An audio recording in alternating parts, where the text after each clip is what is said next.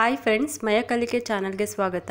ಇವತ್ತಿನ ವಿಡಿಯೋದಲ್ಲಿ ನಾನು ಹೆಸರುಬೇಳೆ ಕೋಸಂಬರಿ ಮಾಡೋದು ಹೇಗೆ ಅಂತ ತೋರಿಸ್ಕೊಡ್ತಾ ಇದ್ದೀನಿ. ಬನ್ನಿ ಹೇಗೆ ಮಾಡೋದು ಅಂತ ನೋಡೋಣ. ಇದಕ್ಕೆ ಬೇಕಾಗಿರುವ ವಸ್ತುಗಳು ಏನೇನೆಂದರೆ, ಎರಡು ಕಪ್ಪು ಹೆಸರುಬೇಳೆ ನಾನಿಲ್ಲಿ ತೊಗೊಂಡಿದ್ದೀನಿ.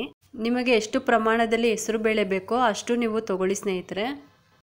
ಈ ಕೋಸಂಬರಿ ಮಾಡೋಕ್ಕೆ ನಾನಿಲ್ಲಿ ಅರ್ಧ ಹೋಳು ಸೌತೆಕಾಯಿ, ಒಂದು ಕ್ಯಾರೆಟು, ಸ್ವಲ್ಪ ಕೊತ್ತಂಬರಿ, ಖಾರಕ್ಕೆ ಅನುಸಾರ ನಾಲ್ಕೈದು ಹಸಿ ಮೆಣಸಿನಕಾಯಿ ಇದರ ಜೊತೆಗೆ ನೀವು ಬೇಕಾಗಿದ್ದರೆ ನಿಂಬೆ ಹಣ್ಣಿನ ರಸ ತೊಗೋಬೋದು.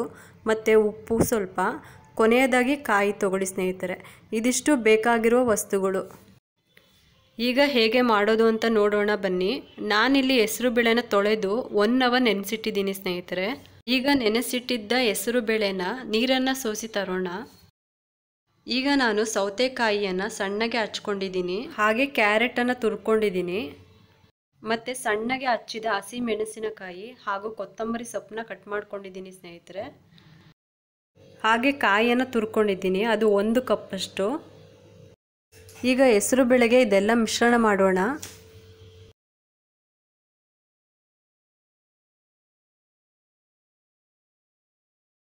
ಮೊದಲು ಹಚ್ಚಿಟ್ಟಿದ್ದ ಸೌತೆಕಾಯಿನ ಮಿಶ್ರಣ ಮಾಡೋಣ.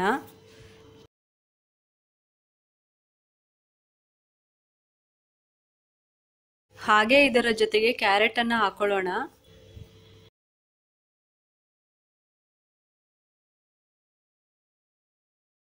ಈಗ ಸಣ್ಣಗೆ ಹಚ್ಚಿಟ್ಟಿದ್ದ ಹಸಿಮೆಣಸಿನಕಾಯಿಯನ್ನು ಹಾಕೊಳ್ಳೋಣ. ಹಾಗೆ ಕೊತ್ತಂಬರಿ ಸೊಪ್ಪನ್ನು ಹಾಕೊಳ್ಳೋಣ. ಈಗ ಎಲ್ಲ ಮಿಕ್ಸ್ ಮಾಡೋಣ. ಈ ಕೋಸಂಬರಿ ಅನ್ನೋದು ರಾಮನವಮಿಗೆ, ಶಿವರಾತ್ರಿಗೆ ಮತ್ತು ವರಮಹಾಲಕ್ಷ್ಮಿ ಹಬ್ಬಕ್ಕೆ ಹೇಳಿ ಮಾಡಿಸಿದ ಮತ್ತು ಜನಪ್ರಿಯವಾದ ಪ್ರಸಾದ ಇದು. ಮತ್ತು ಎಲ್ಲ ಮನೆಯಲ್ಲೂ ಫಂಕ್ಷನ್ಗಳಿಗೆ ಸಾಮಾನ್ಯವಾಗಿ ಇದನ್ನು ಮಾಡೇ ಮಾಡ್ತಾರೆ. ಮತ್ತು ನಮ್ಮ ಮನೆಗಳಲ್ಲಿ ಯಾರೇ ನೆಂಟರು ಬಂದರೂ ಸ್ನೇಹಿತರೆ, ಈ ಹೆಸರುಬೇಳೆ ಕೋಸಂಬರಿನ ನಾವು ಮಾಡ್ತೀವಿ. ಇದು ತುಂಬ ಫೇವ್ರೇಟ್ ನಮ್ಮ ಮನೆಯಲ್ಲಿ. ಈಗ ಇದಕ್ಕೆ ತುರ್ಕೊಂಡಿರೋ ಕಾಯಿನ ಮಿಕ್ಸ್ ಮಾಡ್ಕೊಳ್ಳೋಣ. ಈಗ ಎಲ್ಲ ಪದಾರ್ಥಗಳನ್ನು ಚೆನ್ನಾಗಿ ಮಿಕ್ಸ್ ಮಾಡ್ಕೊಳ್ಳೋಣ. ಈಗ ನೀವು ಬೇಕಿದ್ದರೆ ನಿಂಬೆ ರಸ ಹಾಕೋಬೋದು ಸ್ನೇಹಿತರೆ, ಆದರೆ ನಾನಿಲ್ಲಿ ನಿಂಬೆ ರಸ ಹಾಕೊತಾ ಇಲ್ಲ.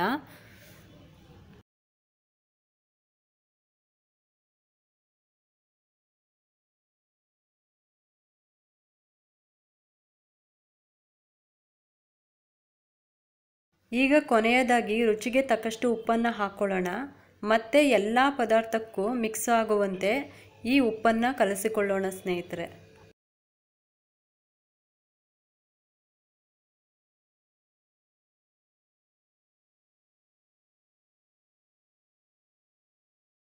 ಈಗ ನಮ್ಮ ಹೆಸರುಬೇಳೆ ಕೋಸಂಬರಿ ರೆಡಿಯಾಗಿದೆ ಸ್ನೇಹಿತರೆ.